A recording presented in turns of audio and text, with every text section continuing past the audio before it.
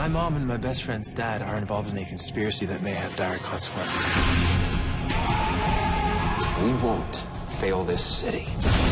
He's tying up loose ends. Someone doesn't want anyone to know about it. What are you doing here? Helping your father with an investigation.